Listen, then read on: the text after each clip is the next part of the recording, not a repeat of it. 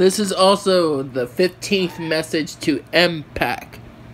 Hey M-Pack, in the Amazing World of Gumball episode The Burden, what do you think of Gumball's face in the episode The Burden? Tell me in the comments.